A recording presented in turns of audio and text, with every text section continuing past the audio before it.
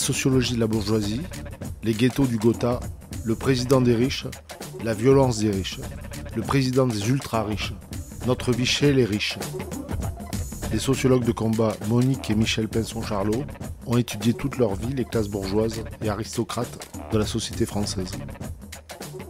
Michel est parti et Monique continue à nous aider à comprendre les rapports de classe, à nous armer d'outils d'autodéfense intellectuelle, nous donner du grain à moudre pour ne pas nous laisser enfumer. Tout récemment, Monique Pinson-Charlot a publié Le méprisant de la République aux éditions textuelles. Nous avons eu la chance de voir et d'entendre Monique Pinson-Charlot ce 6 octobre au cinéma Espace Saint-Michel à Paris autour d'un objet curieux. Un film sur un patron aux méthodes de management participatif hallucinantes, des idées de génie de Brice Gravel. Un film produit au Mutant Pangé qui est distribué actuellement au cinéma par les films des deux rives. Mais revenons d'abord sur le travail d'approche que Monique et Michel Pinson-Charlot ont dû faire pour rentrer dans le cercle très fermé des riches, ces fameux ghettos du Gotha. On a écrit un premier livre dans les beaux quartiers où on était persuadés, Michel et moi, qu'on était foutus, parce qu'on parlait vraiment de racisme mondain, on parlait d'objectivation dans l'espace urbain de la lutte de classe, c'est-à-dire des formes d'apartheid, le séparatisme des riches. Ben oui, oui, ils, nous, ils, ont dit, mais c'est bien. Et comme c'était très bien écrit, parce que dans notre couple, c'est Michel qui avait la belle plume, Monique était, s'en, sortait mieux à l'oral, mais donc on était deux boiteux, mais pas de la même chambre, donc ça, ça allait. Et euh, ils nous ont dit, votre travail nous intéresse beaucoup, parce qu'ils avaient compris qu'on était en train d'articuler la théorie de l'exploitation de Marx à la théorie de la domination de Pierre Bourdieu. Et la théorie de la domination de Pierre Bourdieu leur permettait, si vous voulez, en quelque sorte, de comprendre euh, le fonctionnement et la construction de leur propre habitus de classe.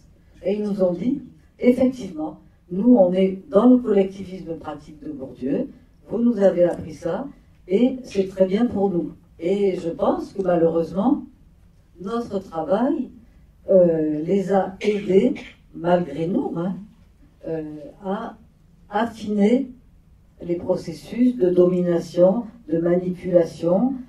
Et donc, euh, ben, finalement, tout ça s'est cassé dès lors que nous sommes partis à la retraite et que nous avons intégré le champ politique et le champ économique dans l'analyse de la classe sociale, ce qui, déjà au CNRS, c'était, c'était pas que c'était interdit, mais tout se passait comme si ça n'était pas possible de travailler sur les dominants, qui n'avaient pas vocation à être soumis à l'investigation sociologique. Et donc voilà, si vous voulez, donc euh, le champ politique et le champ économique, là, on, passait de la classe dominante à une oligarchie, à une oligarchie qui s'accapare vraiment tout, les, tous les pouvoirs et euh, toutes les richesses. Et là, ben, ça a donné le président des riches. Et là, du coup, on a été, euh, ça a été fini pour nous la collaboration, sauf avec certains, dont un, monsieur qui est venu ici là pour présenter à l'espace Saint-Michel où il n'avait jamais mis les pieds, il ne savait même pas que ça pouvait exister, présenter le, film de Basile Carré Agostini sur euh, Michel et moi dans notre vie quotidienne de chercheurs et de combattants.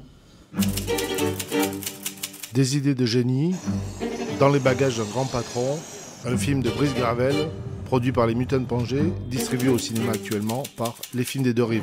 Allez, on est parti pour l'aventure. Euh. On part pour le film. Allez, voilà.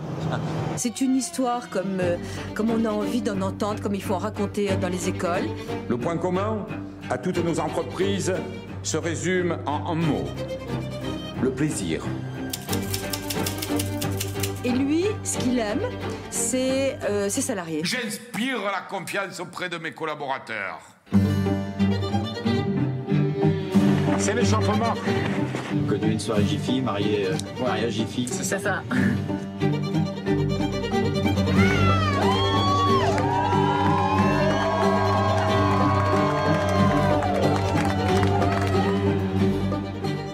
Finalement, c'est un patron mais il n'a rien à cacher. Il a envie de tout nous dire. Oh bah moi je pense que tout le monde a des choses à cacher quand même. Quoi.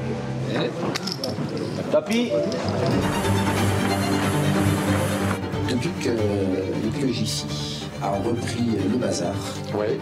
c'est un grand bazar. Un patron qui dit ce qu'il fait et fait ce qu'il dit. Dès qu'il a racheté, l'enseigne a été, était morte à ce moment-là. Imaginons une fraction de seconde qu'un des deux entrepôts se mette en grève.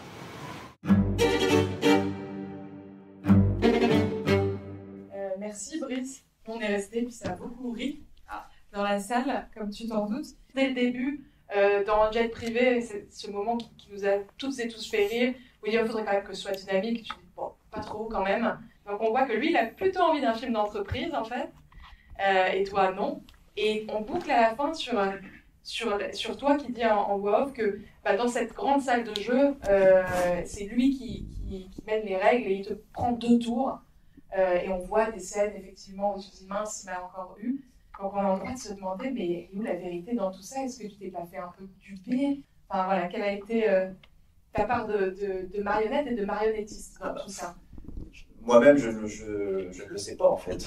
On découvre un univers qui est quand même un peu... Euh, enfin, c'est incroyable. Il y a des, voilà, des employés qui chantent. Euh, c'est étonnant en tout cas. Et l'idée, c'était quand même de ne pas non plus arriver soit en surplomb par rapport à lui, par rapport aux employés qui adhèrent à, à ça pas non plus en dessous, mais d'essayer de comprendre et pas, euh, voilà, c'est la méthode, c'est pas, vous n'allez pas lui rentrer dans l'art tout de suite parce que sinon vous obtenez rien. Enfin, je pense que votre travail sur euh, avec la grande bourgeoisie, c'est pareil. On, on... Sauf que nous, on n'est pas monté dans des jets privés. Je, je, sens bien que vous regrettez cette absence de Absolument.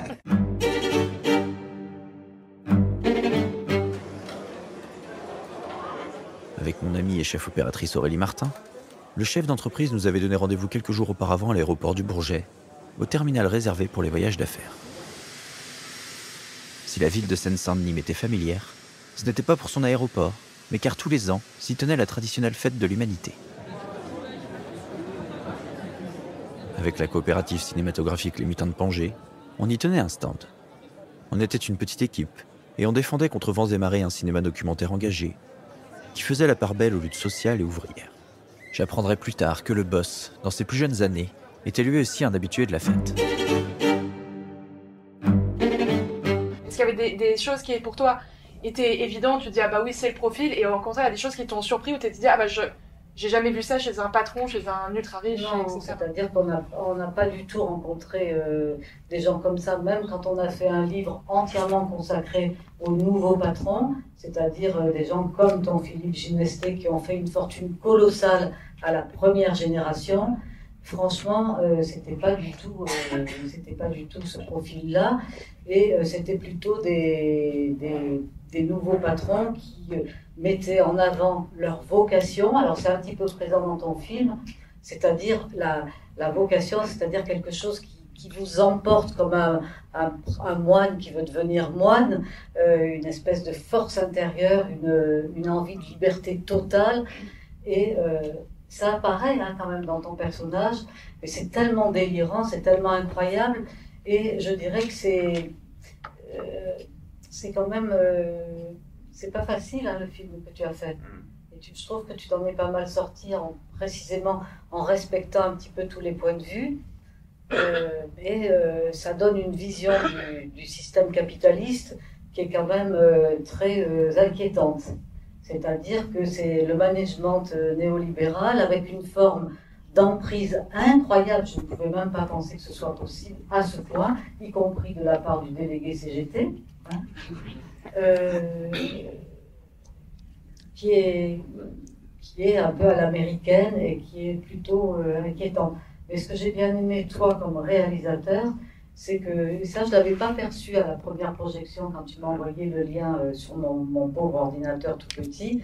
Euh, c'est l'humour et la distance que tu as. Et ça, c'est très fort et ça donne beaucoup de relief à ton film. À notre patron qui nous a invités pour nous motiver à encore travailler, on vous dit merci, on vous dit merci, merci d'être ici. Des souvenirs bâtis qui nous ont requinqués et l'envie de revenir pour mieux vous retrouver, pour vous remercier, Madame Ginesté, Monsieur Ginesté. Et dire qu'il y a des chefs d'entreprise qui pensent qu'il faut toute une série de slides pour booster les entreprises.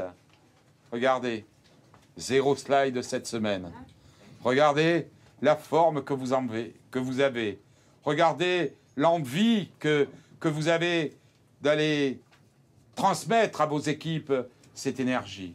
Et en plus, vous nous avez choisi, je pense, la plus belle des chansons. C'est tout au moins celle que je préfère. Je ne sais pas où vous avez pris ces renseignements. C'est ma chanson préférée. Les paroles, je ne sais pas comment vous faites pour arriver à trouver les bonnes paroles, les bons accords. Et en plus, vous chantez bien. Voyez Comme quoi, avec la force du cœur, on arrive à tout bien faire.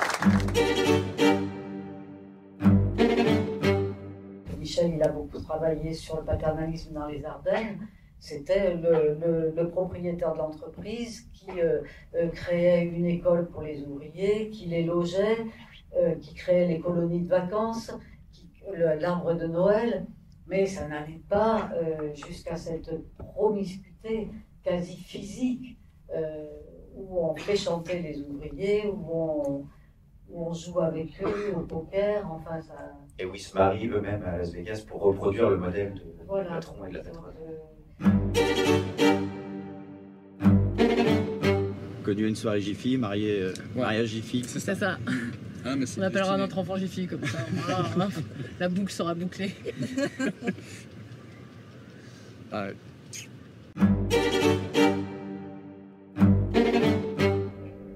je trouve qu'il y a une, enfin je le dis dans un langage un peu bourdieusien, il y a une violence symbolique dans ton film qui est on, a, on rit, mais en même temps on, on, se reproche de rire. Quoi.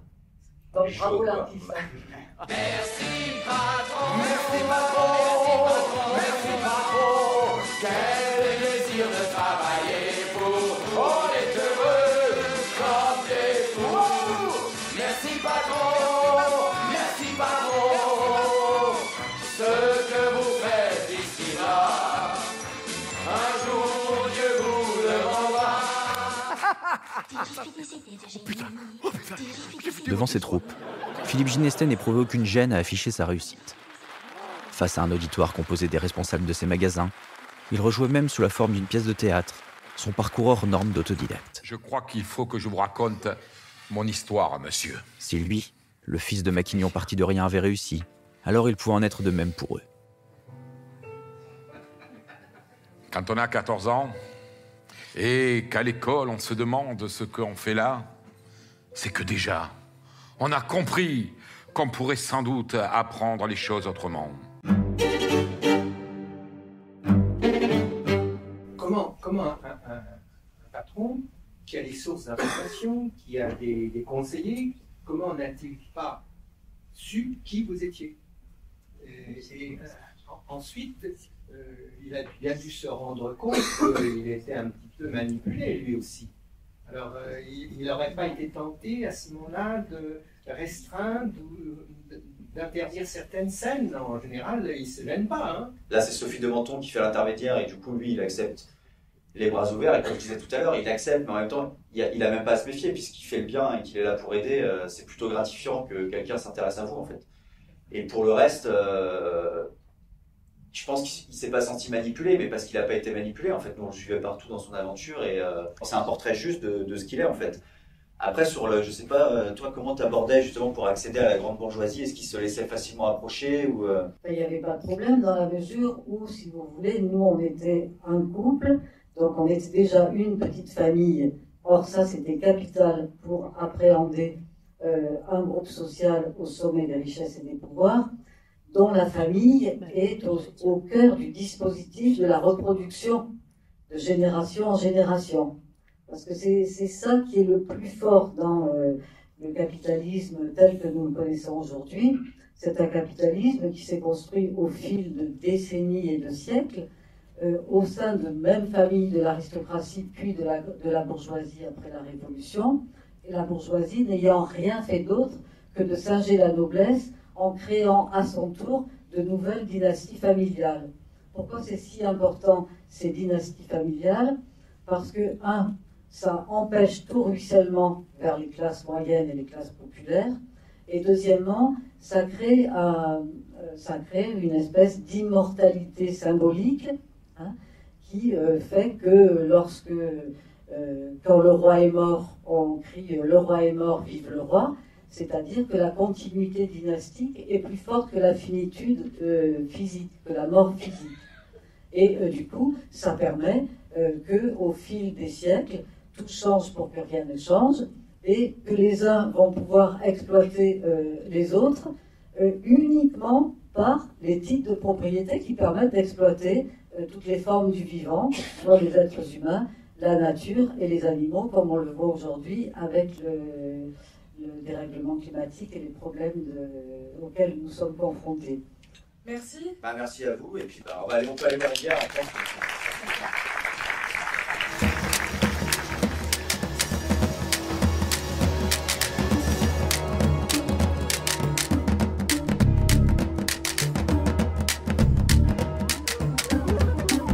Merci à Monique Pinson-Charlot, à Brice Gravel et Mélanie Simon-Fanza pour le débat. Merci à toute l'équipe de l'Espace Saint-Michel pour leur accueil toujours aussi chaleureux. Merci patron, merci les Charlots. Pour en savoir plus sur la sortie du film Des idées de génie dans les bagages d'un grand patron, vous trouverez tout sur le site dédié desidéesdegénie-lefilm.fr ou encore sur lesmutants.org. N'hésitez pas à nous contacter pour programmer le film par chez vous. Vous pouvez aussi voir et revoir sur Cinémutin en VOD les deux documentaires consacrés au couple de chercheurs Pinson-Charlot, À demain mon amour de Basile Carré Agostini et Le voyage dans le ghetto du Gotha, un documentaire en exclusivité sur Cinémutin. Et surtout ne ratez pas le nouveau livre de Monique Pinson-Charlot, Le méprisant de la République aux éditions textuelles. En attendant un ruissellement qui ne viendra jamais. Merci patron Merci patron Merci patron Merci patron de travailler pour vous On est heureux comme des fous. Merci patron. Merci patron. Merci patron. Ce que vous faites ici-bas Un jour Dieu vous le rendra